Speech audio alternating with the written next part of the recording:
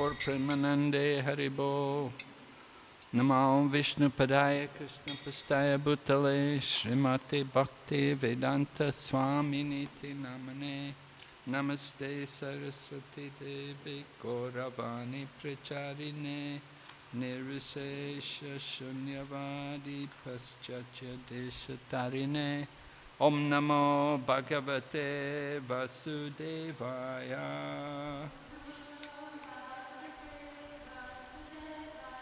ॐ नमो भगवते वासुदेवाय।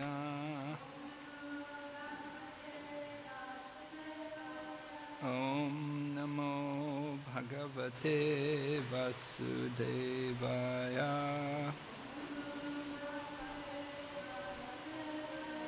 नारायणं नमस्कृत्यम् नरं चैव नरोत्तमम्।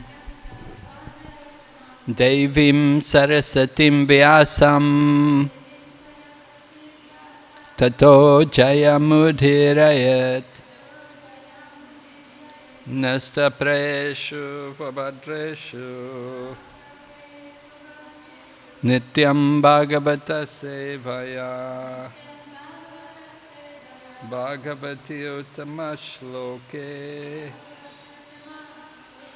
Bhaktir Bhavati Naishtaki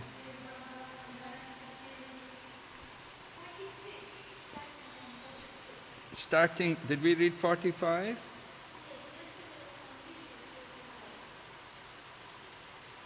Okay. 46. Srimad Bhagavatam, Canto 10, Chapter 11, The Childhood Pastimes of Krishna, beginning from text number 46. Swam swam vatsa kulam sarve. Payai ishyanta ekada.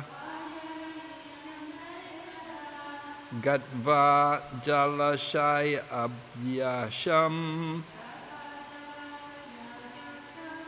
Payayot Payayot Payayot Itva Papujalam Swam Swam Vatsa Kulam Sarve Payayashyanta Ekada Jadva Shayabhyasham Payayitva Papujalam Swam Swam Vatsa Kulam Sarve. Payayasyantak Ekada. Gadva Jala Shayabhyasham Payayitva Papurjalam.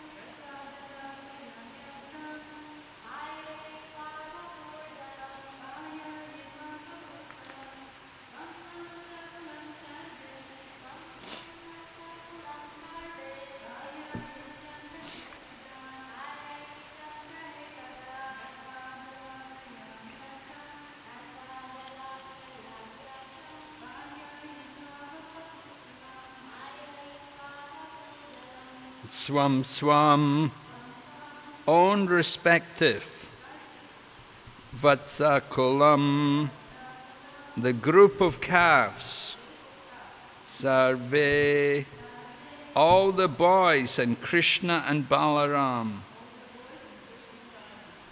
Payayasyanta, desiring to have them drink water. Ekada, one day, Gadva, going, Jala Asaya Abhyasham, near the water tank. Payayatva. After allowing the animals to drink water. Papujalam. They also drank water. Translation One day, all the boys, including Krishna and Balaram, each boy taking his own group of calves, brought the calves to a reservoir of water, desiring to allow them to drink. After the animals drank water, the boys drank water there also. There's no purport, we'll read the next verse, text number 47. Te tatra dadrush rishur bala maha sattvam avastitam tatra sur braja nirbinam gere shringam eve Translation Right by the reservoir, the, the boys saw a gigantic body resembling a mountain peak, broken and struck down by a thunderbolt. They were afraid even to see such a huge living being. Text 48. That great bodied demon was named Bakasura. He had assumed the body of a duck with a very sharp beak. Having come there, he immediately swallowed Krishna. Text number 49. When Balaram and the other boys saw that Krishna had been devoured by the gigantic duck, they became almost unconscious, like senses without life. Purport. Although Balarama can do everything, because of intense affection for his brother, he was momentarily bewildered. A similar thing is stated to have happened in connection with Rukmini Harana, the kidnapping of Rukmini.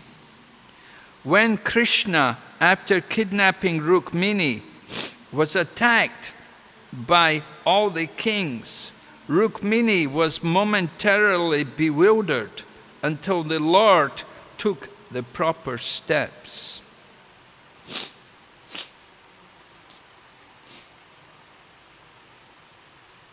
Uh. ॐ ज्ञानतिमरन्दस्य ज्ञानञ्जनशलाकाया चक्षुरुन्मिलितं येन तस्मै श्रीगुरवे नमः श्रीचैतन्यमनोभिस्तं स्थापितं येन भूतले स्वयं रूपकदा मायं ददाति स्वपदान्तिकम् Bandeham Shri Guru Shri Yata Padakamalam Shri Kurun Vaishnavamscha Shri Rupam Sakrajatam Sahagana Raganathan Vitam Tam Sajevam Sadvaitam Savadutam Parijana Sahitam Krishna Chaitanya Devam Shri Radha Krishna Padan Sahagana Lalita Shri Vishaka Nitamscha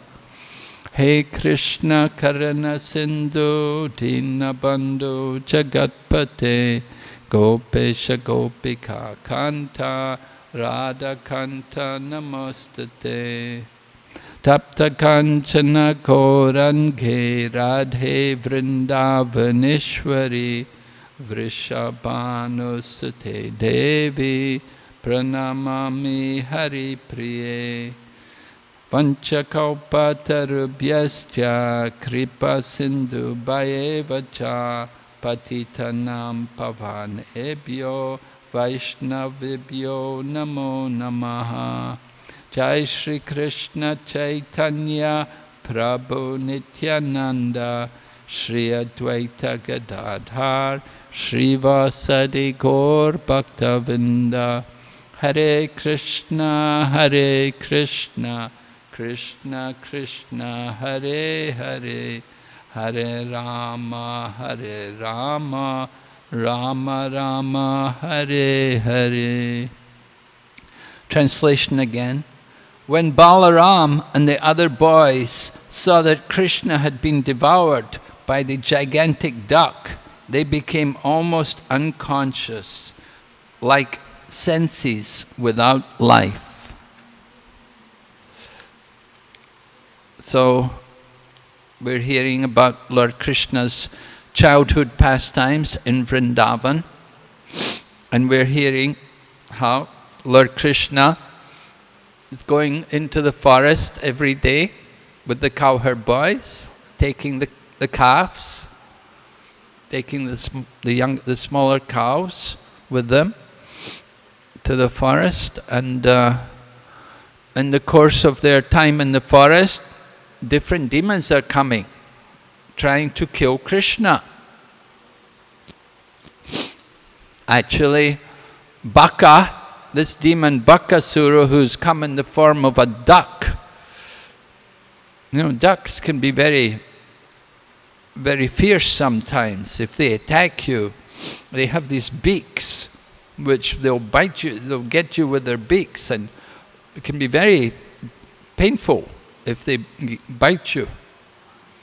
So you could just imagine what this Bakasura demon was like because he's described as being gigantic, like a mountain.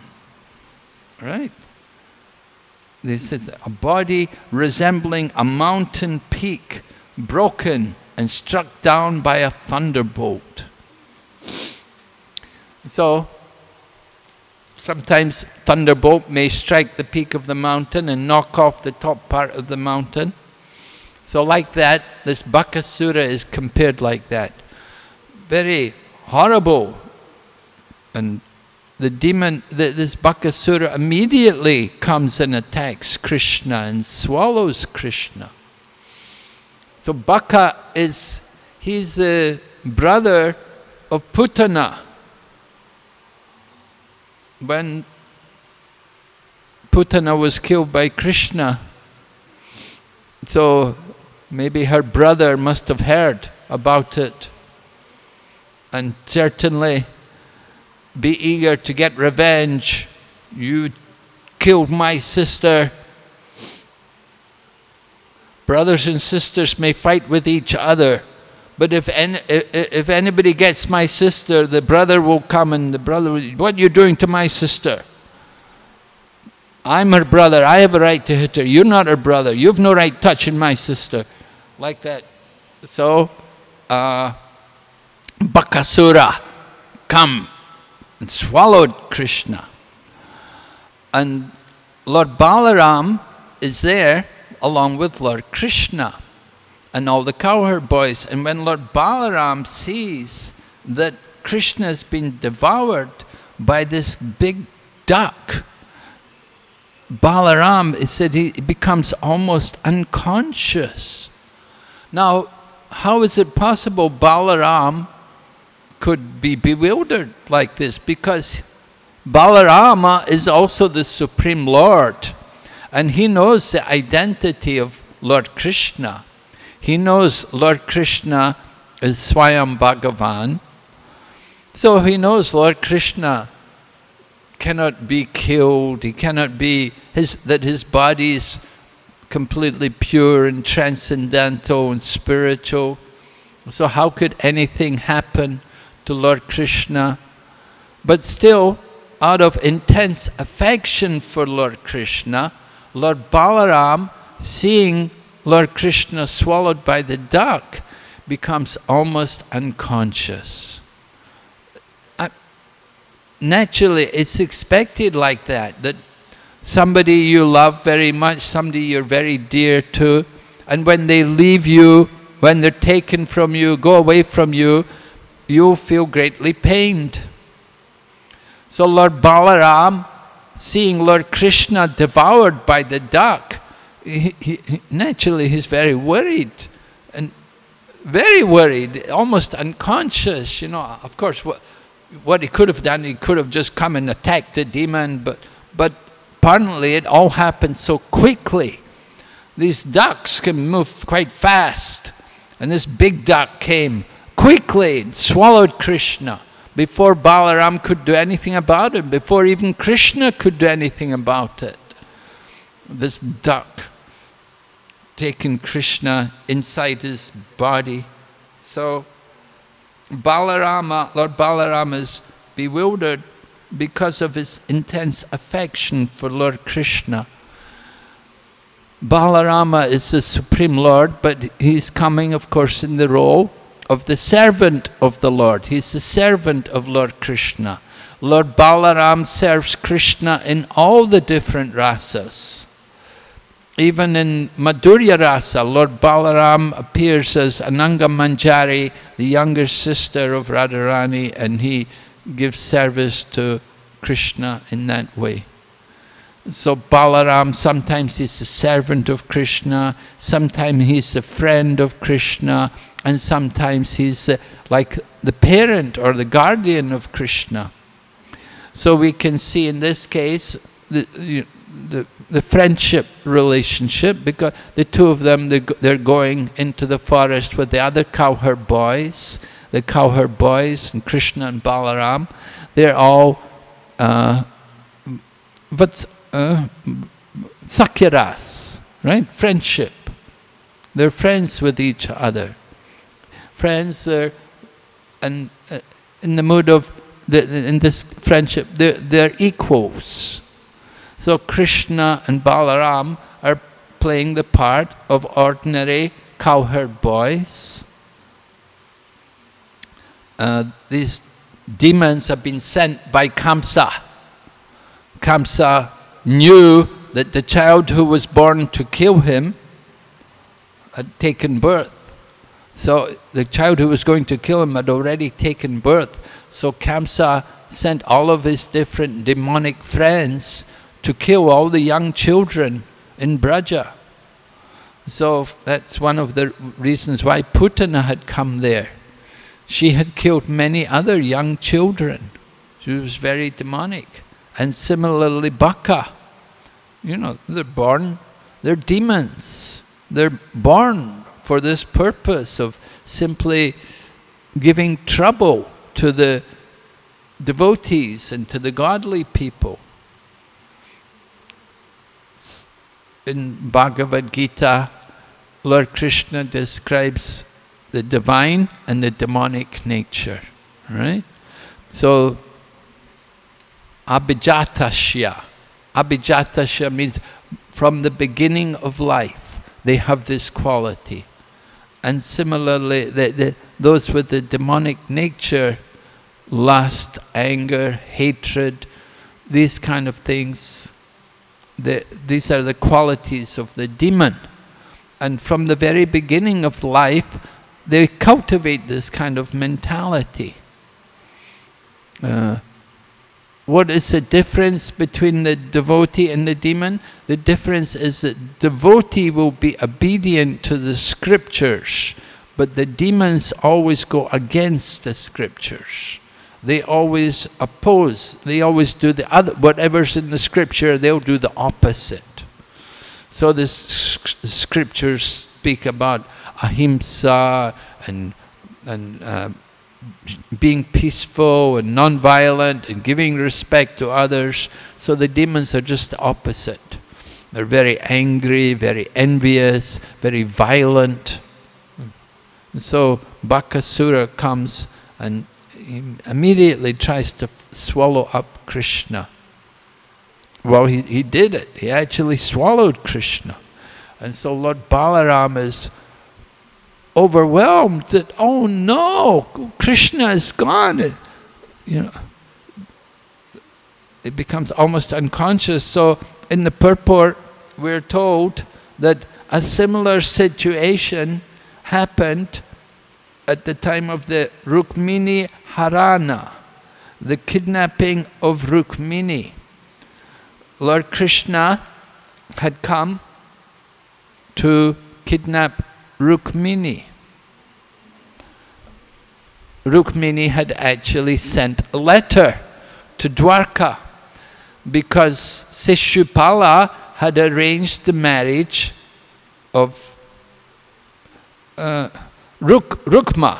Rukma had arranged the marriage of Rukmini to Sishupal, right? Rukmini's brother, Rukma, was a friend of Sishupal, meaning they were not friends with Krishna. Sishupal was always envious of Krishna because Krishna always had more than Sishupal. Sishupal was born into great opulence, great wealth, a great kingdom, very powerful. He had so much opulence, but he didn't have as much as Krishna. You know, sometimes you're in that situation, you're trying to do well, you want, maybe you want to be the top student or something, and somebody always beats you. You know, they always get more than you. You think, ah, you know, you, you feel you feel some envy towards them. So Sishupala's nature was envy. He had very envious mentality towards Lord Krishna. Because Lord Krishna always had more, and could defeat him. So Ruk, Rukma had arranged the marriage of Rukmini to Sishupal. And Rukmini had heard about Lord Krishna because Narada Muni had come there and he told Rukmini about the glories of Lord Krishna. So when Rukmini heard all about Lord Krishna, she was thinking, oh, how wonderful, oh, what a wonderful husband he would make. Oh, I would love to have a husband like him. You know, just like young girls, they hear about a man. You know, young girls, they have their heroes, their movie stars. Sometimes even young girls, they like football players or sportsmen, and they'll have their pictures on their bedroom, and in this way, they live in dreams about this famous man. So Rukmini, she was the daughter of the king of Vidarbha. So she was in a royal family, a very great family, a noble family. But her brother wants to arrange her marriage to Sishupal. And the father can't do anything about it because the older brother, very powerful, father's old, then the job of getting the, the, the daughter married, getting the sister married goes to the brother. The brother's the one to arrange. So he selects Sishupal. you we're going to get you married to Sishupal. He'll be a good husband for you. And Sishupal is also a king. He's a noble man. And he's also wealthy. And he's powerful. But Rukmini had heard about Krishna from Narada Muni. So, you know, Hindu society, Indian society, sometimes it's like that. The young girl doesn't have a lot of freedom when it comes to marriage. Young women, it's, they're not given independence. The marriage is arranged usually by the parents. And it's actually better. It's actually better that the parents arrange the marriage for the girl because they know the mentality of the girl and they can the girls young young women tend to be sentimental and they you know oh he looks nice. Oh he doesn't look very nice. Like that you know they look more at the external features rather than the internal features. And so when the young girl gets married to a man just based on the external features then it won't be very successful for long. After some time, you know, they start to have difficulties because internally they're very different. So it's better that the marriages are arranged by the parents. So in this case it was Ruk, Rukma, the brother, eldest brother of Rukmini. She, he arranged the marriage. And it was a big marriage. All the kings come because Shishupal and Rukmini, they're both from royal families. So it's a very big event.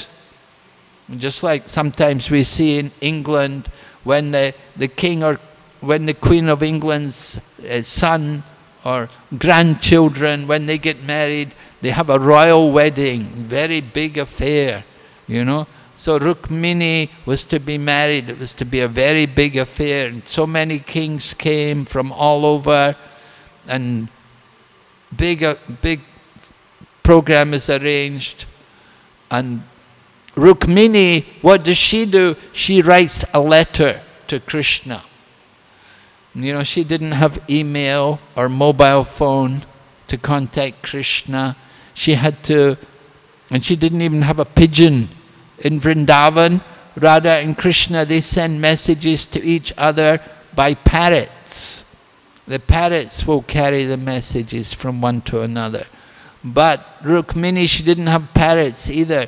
But she had a brahmana. She had a faithful brahmana there who was her, who was close to her. So she requested this brahmana to take her letter to Dwarka and give it to Lord Krishna. And in her letter, Rukmini wrote, expressing her love for Krishna and her desire to marry Lord Krishna. And she also told Lord Krishna that if I'm not able to achieve you as a husband in this life, then I'm prepared to undergo austerities for many lifetimes in order to achieve you as a husband.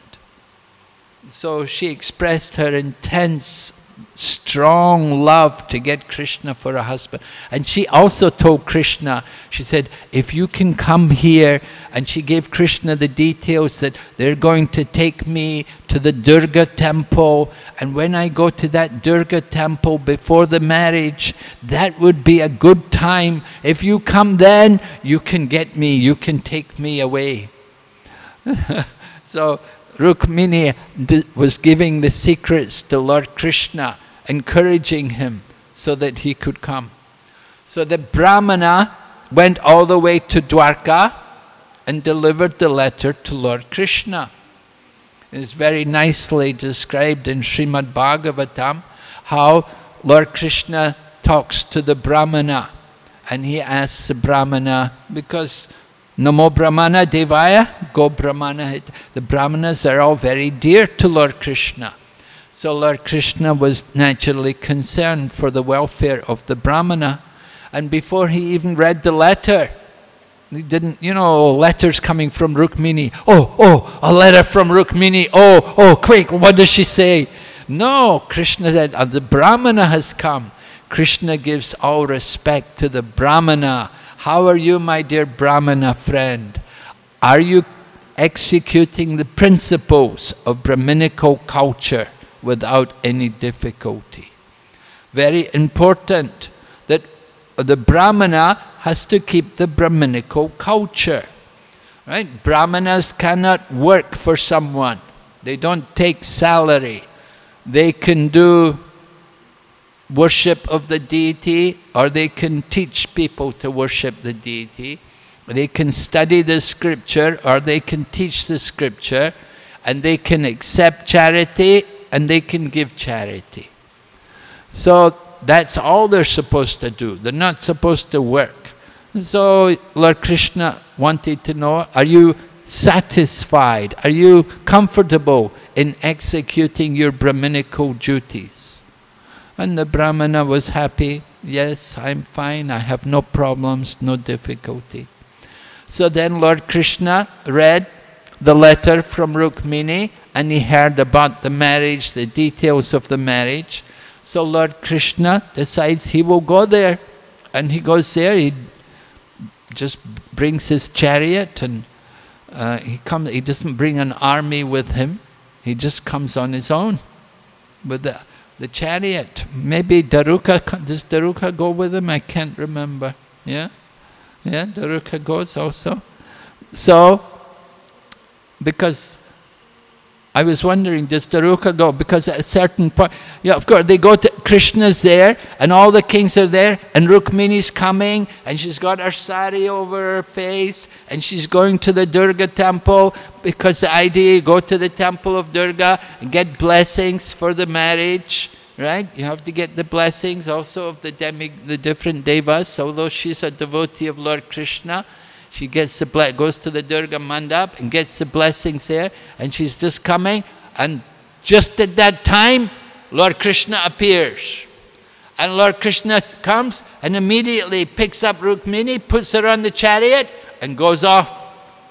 And of course, all the other kings, all Shishupal and all the other kings who oh, they were very shocked. The audacity of Lord Krishna audacity of that cowherd boy, Krishna, that he's come here just like a, a wolf is stealing a lamb away in the presence of the, the, the, the shepherd. It's a very outrageous thing. And so that all the Kshatriya kings, they all go after Krishna and they're all chasing Krishna. Here, here it says that uh, Prabhupada writes that Rukmini was stunned by all the kings because Krishna was kidnapping her. Rukmini was momentarily bewildered until the Lord took the proper steps. So Rukmini, of course, is also no ordinary personality. She is the goddess of fortune. She's always the consort of the Lord. So she, sometimes I, we read also that when Krishna was driving away, Uh, because the kings were chasing, so he gave the reins to Rukmini. And he said, you drive. And Krishna picked up his bow and he was killing all the kings who were chasing him. So Rukmini was also able to drive a, you know, a, a team of horses in, on the chariot. So she was, although she was a young girl, she was trained in these kind of things somehow. But the, the significant point in this in this particular verse is that Balarama and also Rukmini, that they can become stunned due to their intense love and attachment to Lord Krishna. Because they love Krishna so much. Rukmini is described, she's, she's on, has a, the highest love for Krishna. Just like Prahlad Maharaj is prema bhakta. Rukmini also had prema bhakti for Lord Krishna. She had intense love for Krishna. Prema bhakti, right? How do you get prem when you're uh, Premanjana charita bhakti vilochanena santa sadaiva hridayeshu vilokayanti yam shyama sundaram achintyagunam swarupam Govindam Adipurusham Tamaham Bhajami. I worship Govinda, the primeval Lord, who is Krishna Shyamsundar himself, with inconceivable, innumerable attributes, whom the pure devotee sees in their heart of hearts, with the eye of devotion, tinged with the salve of love. So Rukmini's eyes had that love they they were always full of love for Krishna. Very intense love for Krishna. Just like Mother Yashoda also, you know, she's also on the highest level. And Balarama, of course, Balarama loves Krishna more than anybody else. He also has, although he's not different from Krishna, but he's come as the servant of Krishna.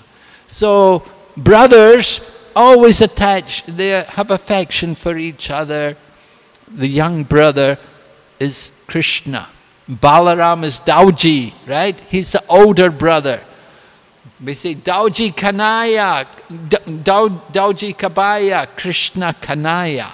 Dauji Kabaya, Krishna Kanaya. There's a temple in Braja of Dauji. When we go there, we sing that song. Dauji Kabaya, Krishna Kanaya. Krishna Kanaya. Krishna is the younger brother. Dauji means the older brother. So the older brother is to take care of the younger brother. And Balarama sees his younger brother has been swallowed by Bakasura. Oh no, where's, what is happening? So he feels very concerned.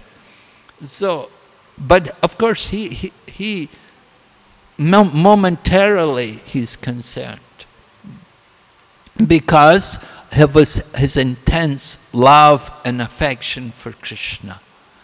That if we think of Krishna as the Supreme Lord, if Balaram would just think of Krishna as the Supreme Lord, then he wouldn't worry, he wouldn't care about him. But then you won't have that same loving feeling for him. So he, the, he wants to, he wants to enjoy that loving relationship, that rasa. Just like as devotees, we want to serve Krishna. Mother Yashoda wants to care for Krishna.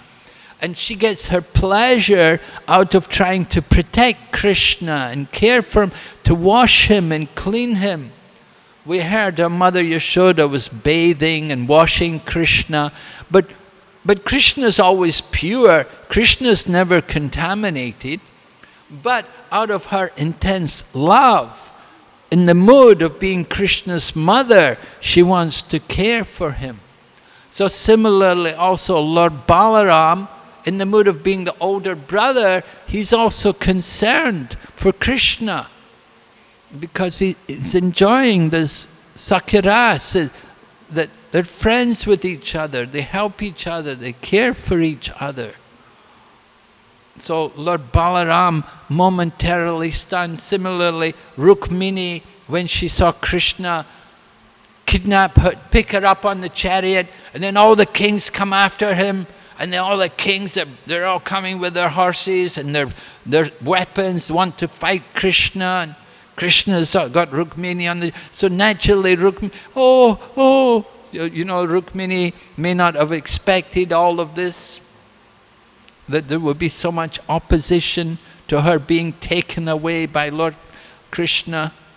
So momentarily she's also bewildered she's also bewildered. She's worried about Lord Krishna, that maybe these kings will harm Krishna because there's so many of them. They're all coming after Krishna. There's so many of these kings. So naturally she would worry about Krishna that, oh, how will he ever be safe? That they're all coming, they're trying to kill Krishna. So devotee always wants to, to protect Krishna, to give service, right? We don't want to take service from Krishna. We like devotees' mood is to give service to Krishna. Just like Raghunath Das Goswami was uh, doing his meditation at Radhakund and he was sitting meditating at Radhakund and it was, you know, jungle everywhere and so sometimes a wild animal would come so when a wild animal like a tiger would come, Lord Krishna would come and chase the tiger away. Don't disturb my devotee, he's meditating. And another time in the hot sun, Raghunath Das is sitting there meditating and Radharani comes and holds a, a piece of cloth over his head to protect him from the sun. So when, the, when Sanatan Goswami saw this, then he told Raghunath, you can't do like this. You're taking service. Krishna and they're coming to serve you. You're supposed to be their servant. So the devotees want to give service. They don't like to take service. But there's always that competition. Krishna is Bhakta Vatsala. He likes to give service to his devotees the devotees keep Krishna in their heart and Krishna keeps the devotees in his heart.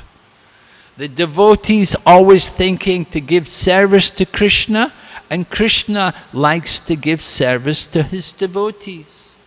It's a transcendental competition. So Rukmini's certainly worried here, seeing her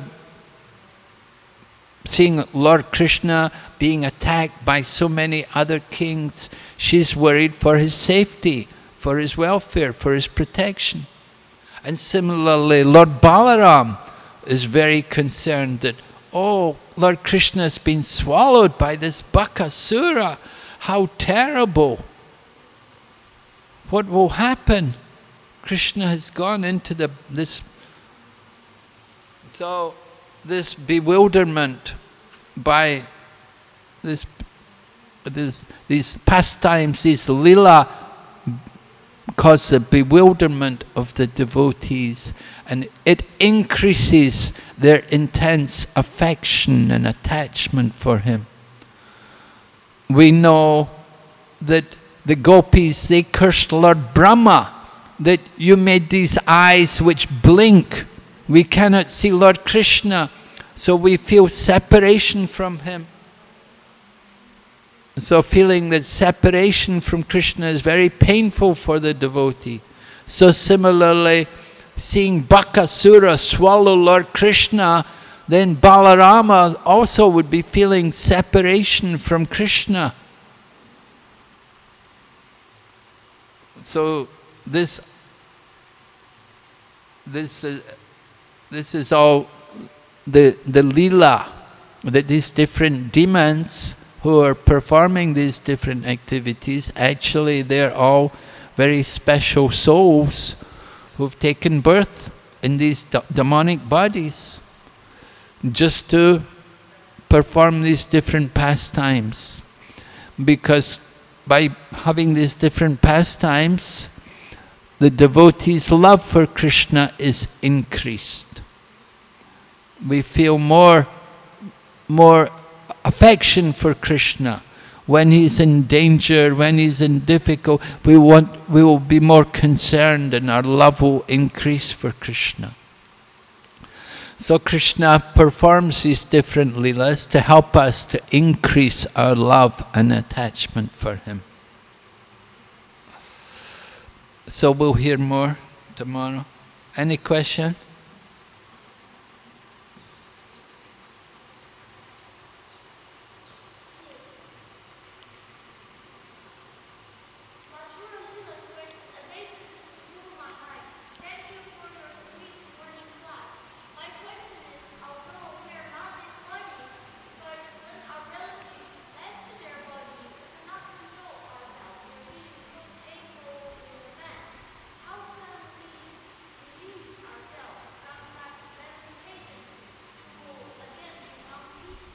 Oh, when a relative departs from the world, we will feel separation from them, we will lament the absence of a dear loved family member. So how to overcome that feeling of separation and feeling of lamentation. Therefore, it's recommended we should chant the holy name. We have to chant the holy name and we have to also hear, you have to hear the teachings of Lord Krishna, particularly uh, second chapter of Bhagavad Gita, where Lord Krishna describes uh, knowledge of the soul, describing the difference between the body and the soul.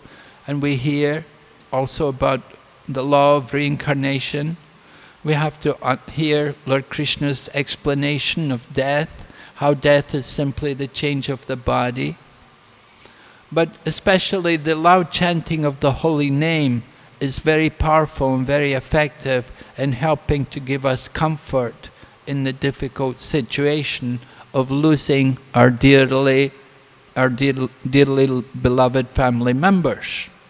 So the chanting, kirtan of the uh, chanting of the Hare Krishna mantra, very powerful to help us to overcome our grief by chanting the holy name of Krishna, then we will awaken also our spiritual consciousness and we will understand what is actually taking place. By chanting the holy name, by doing devotional service, automatically we wake, awaken knowledge and also detachment. Knowledge about the body and the soul and detachment from the material existence.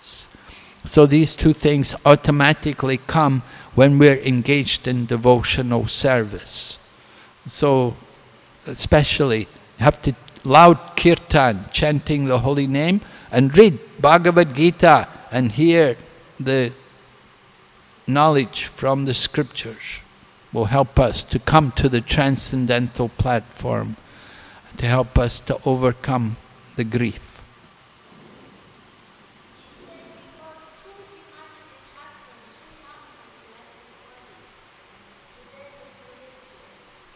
Yeah. Yes, right. Uh, devotee's husband left the body. So it's important to have association with devotees and in the association of devotees, when your husband or somebody, family member leaves the body, then we should take the association of devotees and we should increase, greatly increase our hearing and chanting. It's very important. When Prabhupada departed from the world, I remember in Vrindavan, for many days we had kirtan and classes, extra kirtan, extra classes, many devotees all coming and speaking and glorifying Prabhupada. Like that, more kirtan, more people speaking, glorifying Krishna and Krishna's devotees.